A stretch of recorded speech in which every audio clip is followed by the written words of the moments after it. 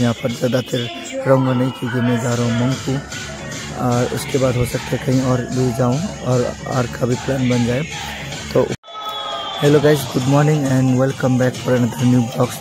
तो गाइस आज है रामनवमी तो आप सबको हैप्पी रामनवमी। और अभी हम लोग सिलीगुड़ी में, जैसे कि यहाँ पर देख पा रहे हैं भीड़।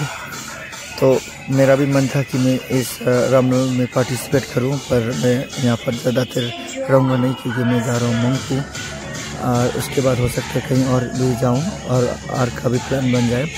तो ऊपर से मेरा गला भी बैठा है, जिससे अगर मैं ठीक से बात भी नहीं कर पा रहा हूँ गाइस तो अभी यहाँ पर थोड़ी देर रहने के बाद निकलते हैं सीधा मंगपू के लिए। और वो ब्लॉग्स जो है, वो अलग से आएगा और ये रामनवमी ब्लॉग जो है, अलग से डालूँगा। तो गाइस चलिए चलते हैं इंजॉय करते हैं रामनवमी